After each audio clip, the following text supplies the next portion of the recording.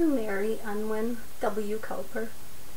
This is a tribute to the woman that has taken care of the author for many years. He would record her good deeds in immortal song, and we see he has done so in verse, if he didn't already know that God has written them down. To Mary Unwin.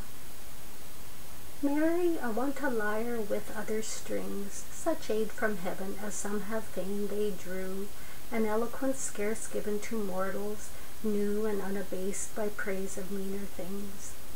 That ere through age or woe I shed my wings, I may record thy worth with honor due. In verse as musical as thou art true, verse that immortalizes whom it sings. But thou hast little need there is a book by seraphs writ with beams of heavenly light, on which the eyes of God not rarely look, a chronicle of actions just and bright. There all thy deeds, my faithful Mary, shine, and since thou own'st that praise, I spare thee mine.